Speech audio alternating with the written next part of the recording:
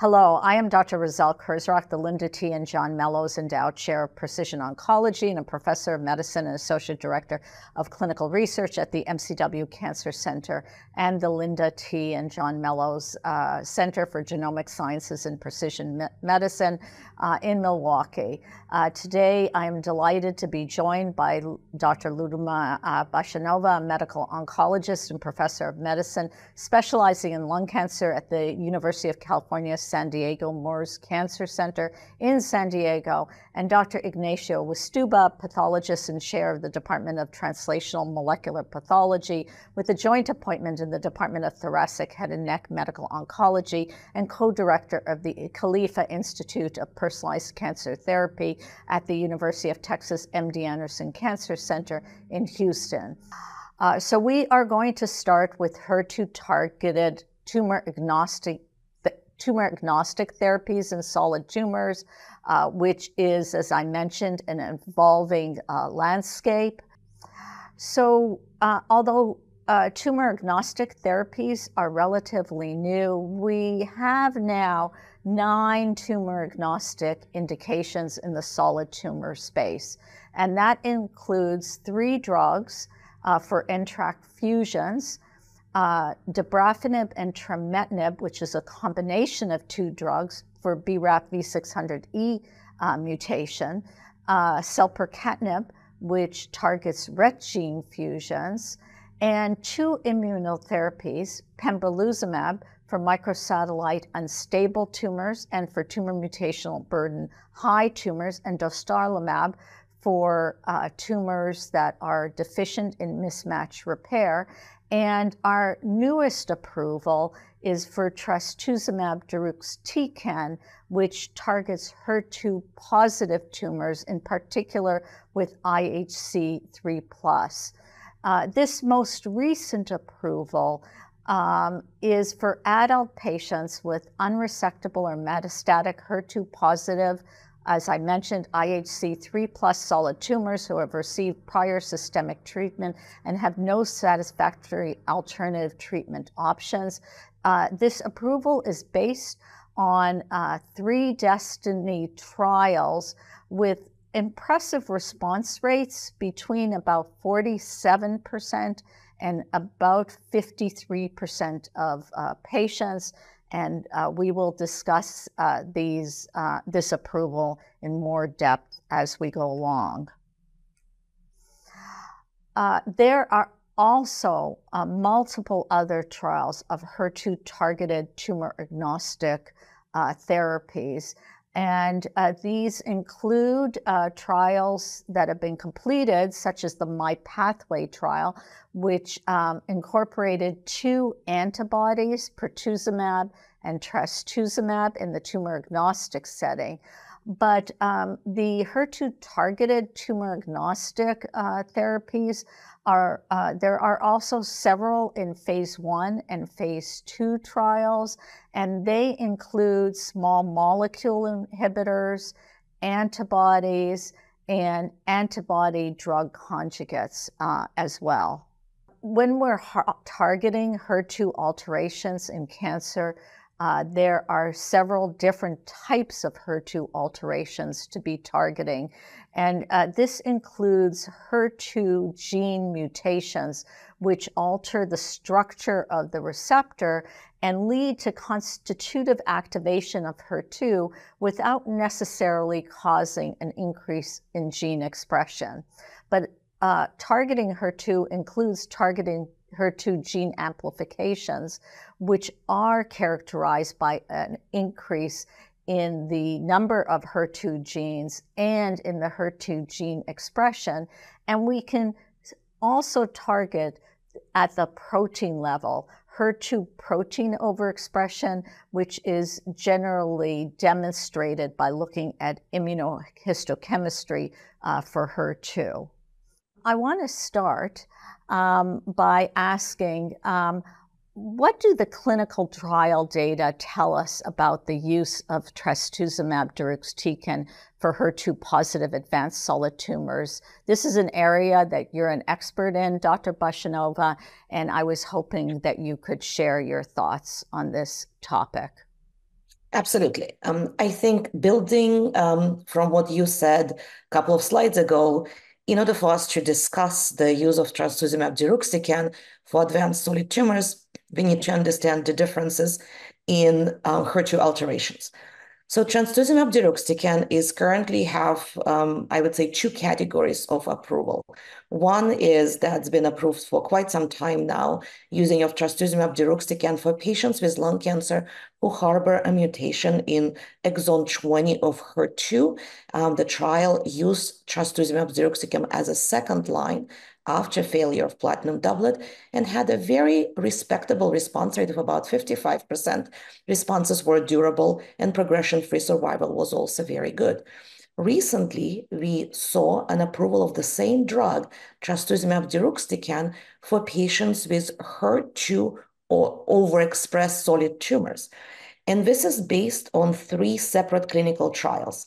Destiny Pan Tumor 02, which included um, tumors of endometrial, cervical, ovarian, bladder, biliary, and pancreas. And here they looked at efficacy of trastuzumab deruxtecan based on overexpression of HER2. They enrolled the patients who had HER2 2 plus and HER2 3.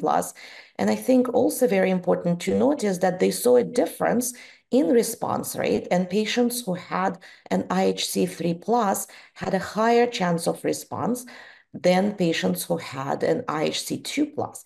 And for example, in endometrial cancer, overall response rate in patients with IHC uh, positive, 3 plus positive um, HER2 uh, was 84%, which I think is really excellent. The challenge here is that the incidence of IHC3 plus is modest um, in some cancers. For example, in the same endometrial cancer that I brought before, there is about 15% of the patients who were who would express um, IHC HER3. In my opinion, even though the incidence of expression of HER3 is relatively low, the response rate is so high that every patient uh, missed is one too many. And that I think underscores um, our necessity to make sure we're testing our patients for IHC3+. plus. Another cancer I, I would like to highlight, for example, biliary tract cancers.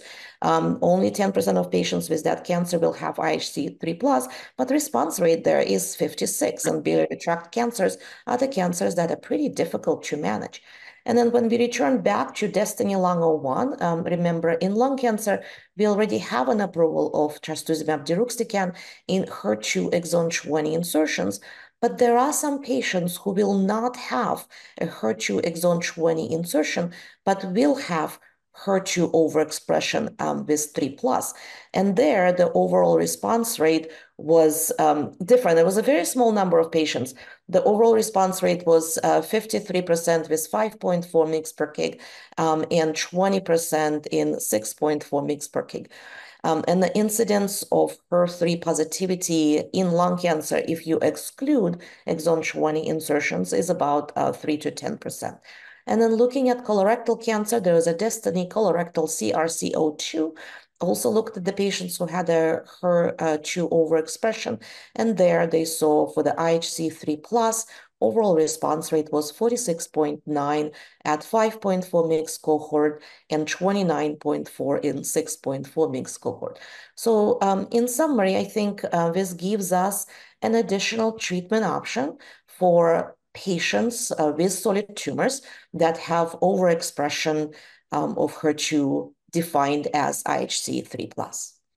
Thank you, uh, uh, Dr. Bazhenova, for that uh, excellent explanation.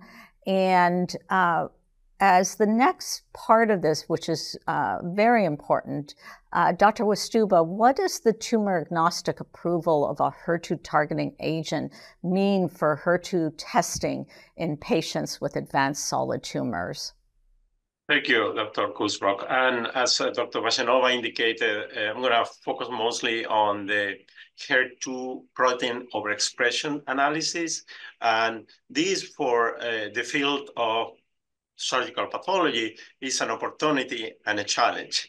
The opportunity is that, uh, you know, HER2 immunohistochemical overexpression is a common biomarker that we run in pathology labs for breast cancer, for gastric cancer for many years. And there validated a methodology to run the test and to examine, you know, and, and, and, and make a determination of the level of expression. And three plus, you, you know, is, is zero, one plus, two plus, three plus, and, and three plus means complete, um, a strong, complete staining of the membrane of malignant cell or basolateral level of expression. So, and in a percentage of 10 or, or, or higher uh, percent of malignant cells. So it's, it's something that pathology know. The, the challenge is that now it goes beyond uh, gastrointestinal tumor and breast cancer. Now we have to uh, bring other specialized pathologies and start doing this determination. Uh, when and this is more challenging when there are sub-specialized practices. So, but in my opinion, if this should be could be adopted easily through pathology labs, the technology, the methodology is validated. The assay is, has been in practice for many years. It's just a matter of educate uh, pathology from different um, sub-specializations to uh, do the analysis that we have been doing mostly for gastric cancer for the last uh, uh seven years. So how could the availability of her, further HER2 targeting agents impact clinical practice. Uh, Dr. Bazhenova, do you um, want to address that question? Sure. So, as an oncologist, every time I have an extra treatment option for my patient, I think it's a win because that gives me more possibility to extend the life um, of the patient. And we have um, several um, drugs which are in development um, right now that hopefully will be useful for us once approved in managing patients specifically for what my interest is, is HER2 mutated uh, non-small cell lung cancer, but also having a treatment option for HER2 overexpressed lung cancer would be important. I think we cannot stress enough the need for testing because the only way for us to be able to offer um, those medications to our patients is to make sure we test our patients. And unfortunately, in lung cancer specifically, which, which is my disease of expertise, the testing is um, far from 100%. Um, and what can we do as a community to improve the testing um, in a multidisciplinary approach, uh, working with our pathologists, that would be important uh, thing to, uh, to solve. If I may, I, I would like to actually also make a comment from clinical practice from the pathology perspective. I think that based on the data that have been shown, uh, adopting HER2 immunohistochemistry expression analysis as a test that must be done in all carcinomas, I think that that would be helpful because clinical trials, they focus in the most common carcinomas, but the rare tumors uh, of this type that actually could uh, uh, benefit, patient could benefit from this therapy, and probably were not included in the clinical trials. So I think what you're saying is that there should be a reflex test yes. for HER2 immunohistochemistry in every solid tumor. And I have to say that uh, I agree with that absolutely. What about patients who've received multiple treatments for advanced cancer? Should they still be tested for HER2 overexpression? Yes. The challenge there is um, it, you have enough material actually from the original biopsies to um, perform additional tests. So that is a, is a challenge that we face most of the time in non-small cell lung cancer because the extensive immunohistochemical molecular testing that is done in the biopsy. So, and if, if not available, is this uh, an indication for a rebiopsy and, and, and a particular tumor type? I would favor that but I think that is criteria of the medical oncologist if they want to do a biopsy to uh, uh, test uh, the current tumor. Um, there are some evidence in, in other tumor types like breast cancer that sometimes you could be positive in a original in a diagnostic biopsy, and then the positivity could go away in a subsequent um, biopsy after treatment. But this is early times for a other solid tumors on, in this particular field, so we don't know the answer to those uh, questions yet. So, our next topic is HER2 targeting therapies in non small cell lung cancer. And we're going to talk about both current and future considerations. So, when we look at uh, the objective response rate for trastuzumab deruxtecan in a HER2 altered non small cell lung cancer, uh, we had the Destiny Lung 01 and the Destiny Lung 02 trial. Um, in the Destiny Lung 01 trial, uh, what was looked at specifically, specifically was HER2 overexpression, IHC2 plus or 3 plus, or activating HER2 mutations in non small cell lung cancer, uh, which was unresectable or metastatic and was relapsed or refractory to standard treatment. And with HER2 mutations, at 6.4 milligram per kilogram every three weeks, the response rate was 55%. Uh, with HER2 overexpression, the response rates ranged from 34% to 26%, with the lower doses of 5.4 milligram per kilogram actually having the higher response rate. In Destiny Lung 02, um, patients with activating HER2 mutations who had metastatic uh, uh, disease, uh, metastatic non small cell lung cancer, and who had recurrence or progression after at least one prior therapy were examined. And in these HER2 mutated tumors, uh, the overall response rates uh, range from 50 percent for the 5.4 milligram per kilogram dose to 56% for the 6.4 milligram uh, per kilogram dose. Uh, there are also a range of investigational HER2 targeted therapies in non small cell lung cancer.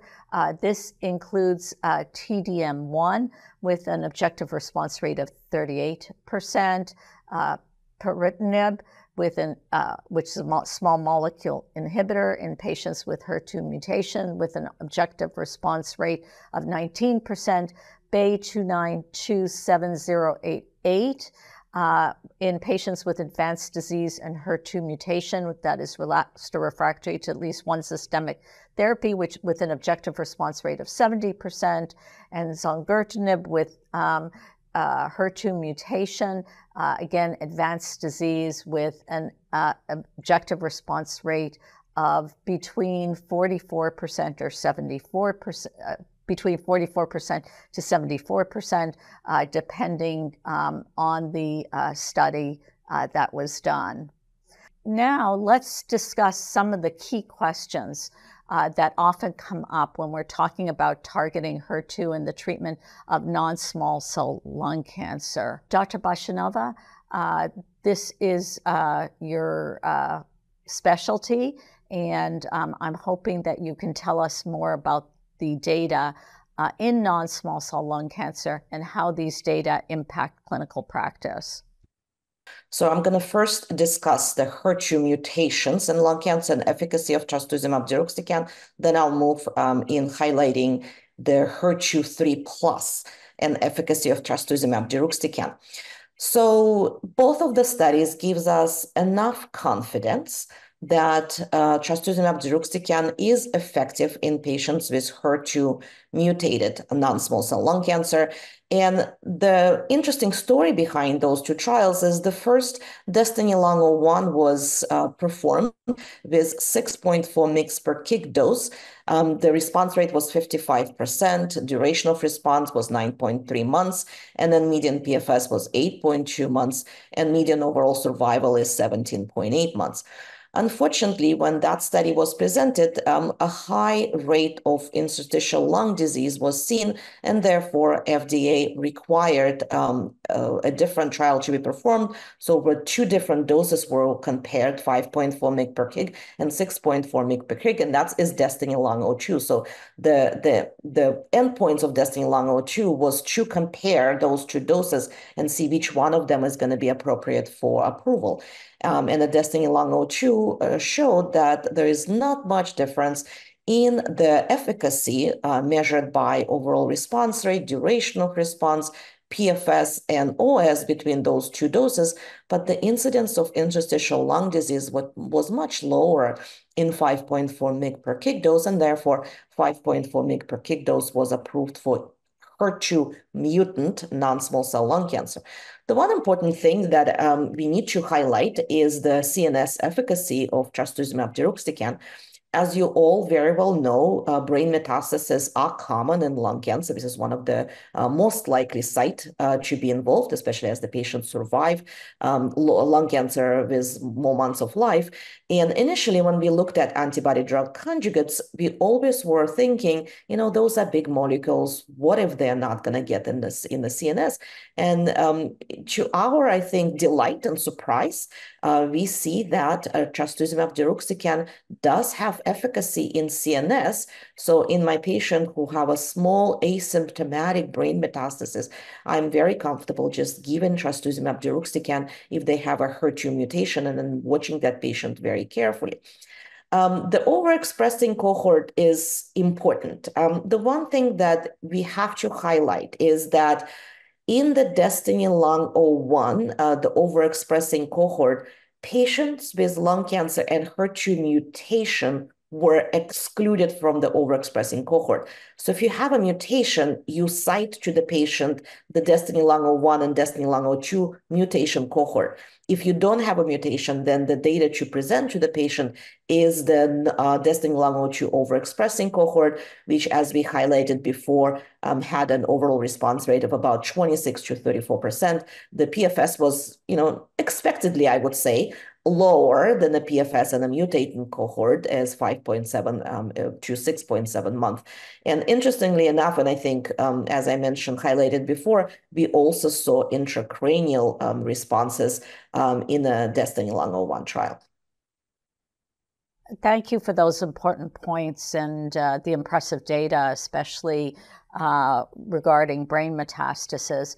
Um, what are the latest data for investigational HER2 targeted agents in non small cell lung cancer, and how do these agents potentially impact clinical practice?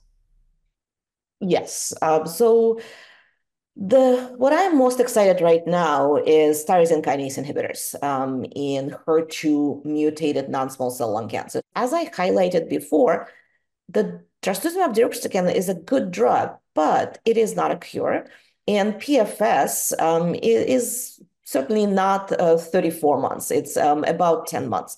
So eventually, those uh, patients will um, progress and will need a change in therapy. And tyrosine kinase inhibitor being a different mechanism of action is very welcomed in that setting. Um, and so far, we have data for three tyrosine kinase inhibitors. Uh, number one is spironolactone, where overall response rate, in my opinion, was a little bit underwhelming at about 19.2%, uh, PFS about 5.6 months. And the two compounds I'm most excited about is Bay compound. It doesn't have a name yet. It's a BAY 2927088, uh, which looked at efficacy in patients who have non-small cell lung cancer and have a HER2 activating mutation um, who have progressed um, after one systemic therapy, but they had to be a HER2 targeted therapy naive. So um, patients who were exposed to trastuzumab deruxtecan would have been excluded from the study. But nevertheless, the overall response rate in a tyrosine kinase inhibitor um, in, in this Bay compound was 70, and median PFS was 8.1 months. And then another drug which um, we've been watching is zongertinib uh, from the trial called Beamion Lung 01 and that looked at a patient's um, initially for the phase one is just all comers, uh, but for the phase one B, uh, the numbers, the response rate are actually quite um, important. Overall response rate of uh, 74%. And we do not have uh, median uh, PFS um, yet reported for the cohort 1B specifically, but I think I'm very excited in potentially seeing an approval of HER2 tyrosine kinase inhibitors uh, for patients with lung cancer who have metastatic disease and have activating HER2 mutation. Uh, thank you. Uh, I think your points about the tyrosine kinase inhibitors, having these additional molecules, are very important. Um, what are the key safety considerations with these HER2 targeted agents, and um, how can we support optimal outcomes for patients? Thank you. So, a um, couple of important points in the um, adverse event profile um, in antibody drug conjugates and tyrosine kinase inhibitors. They are expected to be different because the drug has a different mechanism of action. Um, we, as an oncology community, are very comfortable with tyrosine kinase inhibitors. We have a lot of, at least, let me rephrase, lung cancer oncology community is very comfortable with tyrosine kinase inhibitors because we have um, TKIs approved for EGFR, ALK, ROS, NTRK, RET. And so we actually know how to manage those side effects. Um, and majority of the side effects we see with the tyrosine kinase inhibitors is GI side effects such as diarrhea, mucositis. Uh, sometimes we see elevated ALT and AST. And as a community, we know what to do. So I think um, the side effects of tyrosine kinase inhibitors are not going to worry me in the level um, of um, incidence of adverse events that they're currently describing. The ADC was a completely different story to us because trastuzumab deruxtecan was the first ADC that was approved in lung cancer. And so we um, are still learning how to manage a side effect of um, those compounds.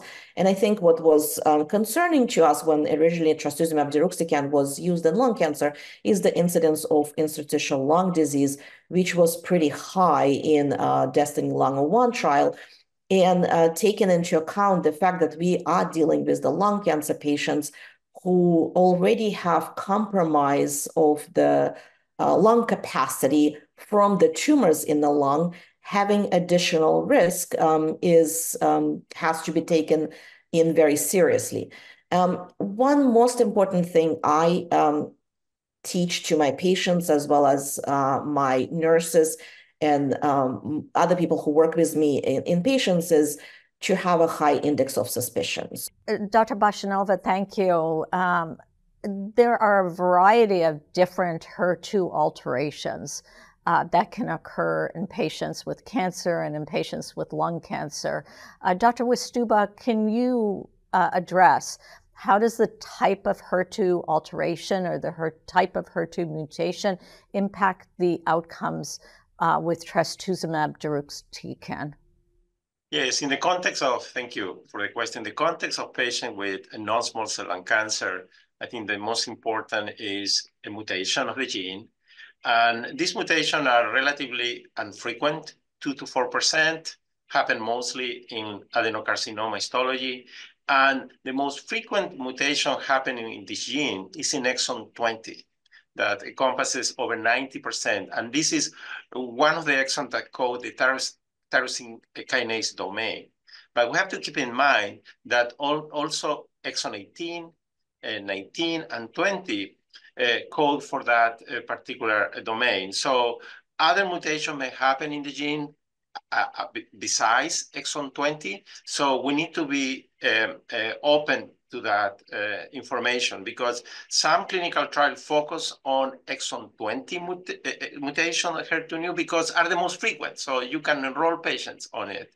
But also we need to keep in mind there are some others affecting the tyrosine kinase domain, exon 18, 19, and 20 that could benefit from this therapy.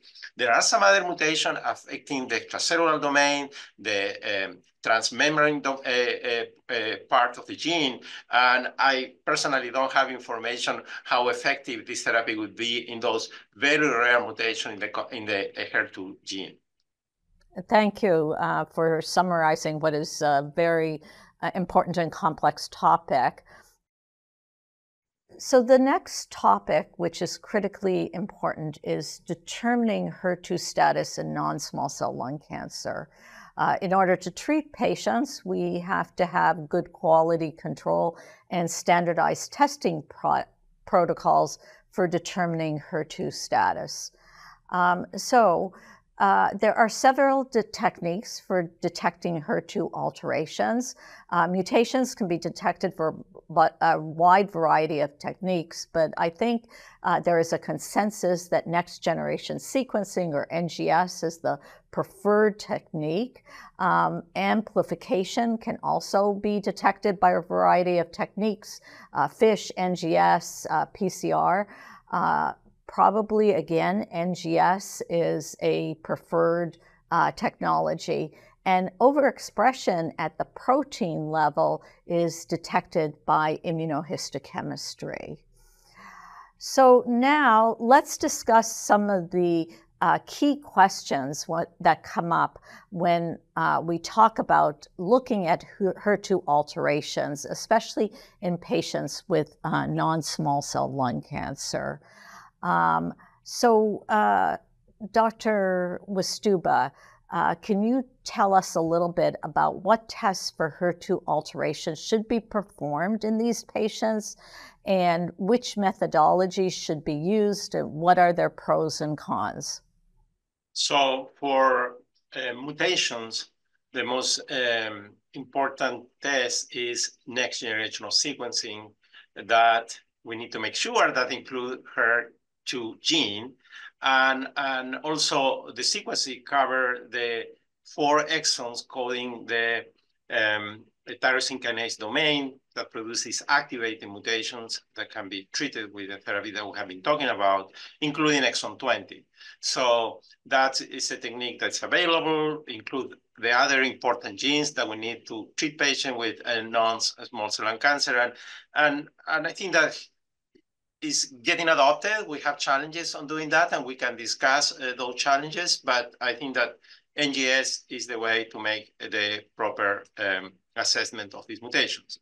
In terms of the proteins, as you have said, immunohistochemistry is the test. We have a validated test that has been developed for breast cancer and gastric cancer, and the two plus plus and three plus um, uh, uh, determination can be used done using the gastric cancer uh, guidelines that have been um, uh, published by the College American of Pathology uh, many years ago. So I think that that's summarized the status of testing for lung cancer. Uh, so I have a couple of questions that I think are important to address in, in addition uh, to what you covered, which is critical. Um, what about tissue versus blood NGS testing? Do you have a comment on that? I think that the uh, thoracic uh, malignancy uh, community have got consensus that tissue or cell-based test, if you use cytology specimen for cell analysis, uh, is uh, preferred, is what we should do in our patient, because even in best, uh, in, with the best assays, testing directly a tumor, malignant tumor cells have higher sensitive that uh, Uh, DNA coming from the tumor that is diluted in the blood in the in the in the liquid biopsy approach. So you have tissue available, that's the preferred test. If you don't have, liquid biopsy is a very feasible approach too. If you find an abnormality like HER2 mutation or any other important gene in lung cancer in the liquid biopsy, is positive. You, you treat it as a positive test. But if it's negative, you may need to actually uh, push for the analysis of the um, tissue in the form of biopsy or cytology because there is a sensitivity difference between both approaches. But both when are positive are positive. Liquid when it's negative, mm, you may have a percentage of cases that you're missing uh, uh, and, and you need to uh, tissue. But whatever you do, you do it in parallel. If you want to test both, that actually is very common practice using liquid and tissue or cell as a sample, you do it in parallel. Try not to do sequential uh, analysis because they waste time. Is there any practical differences between tissue and blood NGS testing time-wise for the treatment of the patient? Absolutely. So um, as uh, Dr. Wistuba just um, explained to us, um, there is a false negative rate to the liquid biopsy. So um, if you decide to just rely on a liquid biopsy, you're going to miss a lot of patients with oncogenic drivers that could benefit from treatment. Um, very important point to make is that in lung cancer in metastatic lung cancer, recommendations are to wait prior to treatment initiation before um, to uh, for you to know what what oncogenic drivers your patient have. So one of the practical reasons why, and I completely agree with Dr. Wistuba, uh, doing it uh, concurrently is important because if you do it sequentially, you do the liquid, the turnaround time is about seven to 10 days. If the liquid is negative, you do the tissue, that's another three weeks. So it's a four and a half weeks. And technically, you should not be initiating therapy, which psychologically is difficult for our patients. I um, do concurrent a liquid and tissue. And if I send a liquid of tissue at the same time, liquid comes back in seven days. If there is a mutation on a liquid, I just start therapy because if it's in a liquid, it's in a tissue.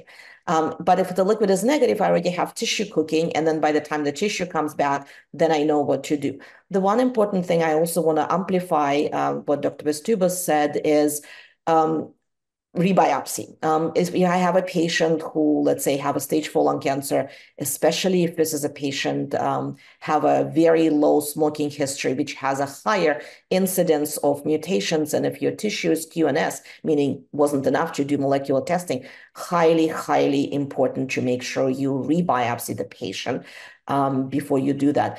Another thing I want to point I want to make, our decisions to do molecular testing in lung cancer do not um, take into account race, gender, um, or smoking history. We are testing everybody regardless of any other characteristics. Uh, those are very important points. And I have one um, additional question for Dr. Wistuba, and that is what about the role of reflex testing? Um, and uh, what, do you, what do you think uh, regarding that? I, I, I favor reflex testing. I'm a big fan of it. And I think that for non-small cell lung cancer, uh, this should be a must. But also we need to acknowledge that is some institutions have challenges to implement this. And we not need to go in that discussion. So it's not always available, and unfortunately, because when you have reflex testing and you uh, clinicians agree with the pathology department on what is the test going to be done, immunohistochemistry, as we discussed today, or and uh, next generation of sequencing, those are done in all patients with non-small cell lung cancer uh, on, on, on, on, on, on the right um, uh, time frame, so we don't delay treatment. But there are some challenges, and happy to discuss those if we have time. Uh, so uh, you think reflex testing for NGS and non-small cell lung cancer. I presume you think that IHC should also be reflex testing. Yes. Uh, please confirm. And do you think um, that IHC should be reflex testing for all solid tumors since there's an approval? Yes, and I mentioned that before. I think that based on the data that we have discussed today, HER2 HER2 immunohistochemistry expressions should be reflex testing for all solid tumors. You have therapy available now that is effective for the patient. That include uh, non-small cell lung cancer. I know that there is discrepancy between three plus or two or three plus, but that shouldn't matter to a pathology department because you just report the result of your test and based on the clinical data, the oncologist make the decision. And in terms of, um, uh, and we do that with PD-L1 these days, right? So HER2 immunohistochemistry should, should be added to the PD-L1 reflect testing where in the places that is available. And of course, NGS for non-small cell lung cancer should be um, uh, reflects uh, with the right panel and in all um, uh, biopsy and cytology specimens um, so I uh, completely agree with that. And um, I think it's critically important that reflex testing be instituted for um, definitely all patients with non-small cell lung cancer and uh, for IHC for all solid cancer patients, because we don't want patients uh, to lose the opportunity to get an effective therapy. Um, is there uh, Dr. Wistuba, something uh, that we should particularly do to standardize and ensure quality control um, in our testing? Um, on NGS, I'm not particularly concerned about uh, the quality of the material. I think that's always important that for cytology and tissue specimen, pathology assess the best material available. So we provide the sample with the highest content of malignant cells. I think that liquid biopsy is a procedure that have a good um, methodology in place. So the material, the analytes is well preserved even during transportation uh, before the testing is done. And regarding immunohistochemistry, particularly with HER2, I think that extensive uh, information coming from the breast cancer community that indicates that for uh, best um, uh, result in this particular test, the tissue should be fixed for a maximum of 72 to 96 hours because overfixation actually damage the expression of the immunohistochemical expression for HER2 HER2 uh, protein. Uh, but pathology laboratories have been working on this with breast cancer and gastric cancer for many years. So I'm, I'm not concerned, but it's important to emphasize this important pre-analytical uh, issue for uh, immunohistochemistry. Uh, Ludmila and uh, Ignacio, thank you so much for this uh, interesting and critically important discussion on HER2. And thank you for watching. We hope that you have found uh, this discussion informative and useful.